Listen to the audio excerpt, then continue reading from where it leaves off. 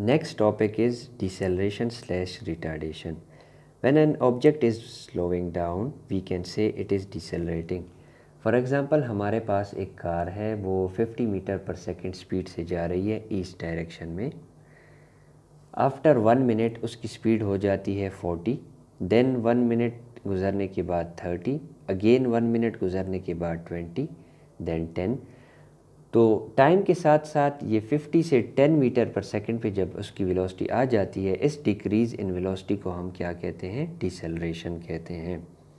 और जो कार हमारे पास प्रोसेस कर रही है, यानी अपनी स्पीड को टाइम के साथ साथ कम कर रही है, इस प्रोसेस को हम कहते हैं डिसलरेटिंग यानी this car is doing decelerating और this process is called deceleration अब फॉर एग्ज़ाम्पल हमारे पास एक कार है, हमारे राइट हैंड डायरेक्शन पे जा रही है let's let say west direction में।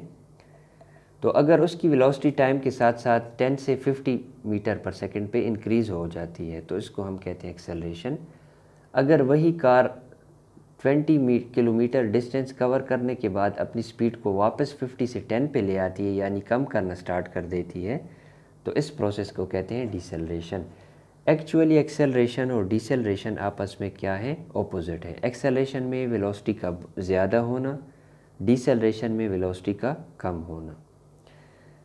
फॉर एग्ज़ाम्पल हमारे पास ये है रोलर कोस्टर इस पिक्चर में आपको नज़र आ रहा है पैसेंजर वूट कर रहे हैं या इन्जॉय कर रहे हैं या शाउट कर रहे हैं और रोलर कोस्टर किस डायरेक्शन में जा रहा है? डाउनवर्ड डायरेक्शन में, यानी ऊपर से नीचे की तरफ़ आ रहा है तो इसकी वेलोसिटी नीचे आते हुए बढ़ रही है।